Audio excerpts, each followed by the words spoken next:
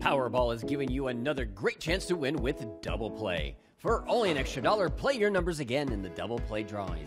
Double Play offers a top cash prize of $10 million every Monday, Wednesday, and Saturday. Now, let's draw tonight's winning Double Play numbers. First number down is 11.